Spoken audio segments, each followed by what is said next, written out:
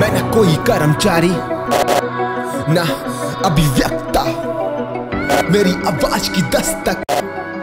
Hitler's को ये मेरा फक्त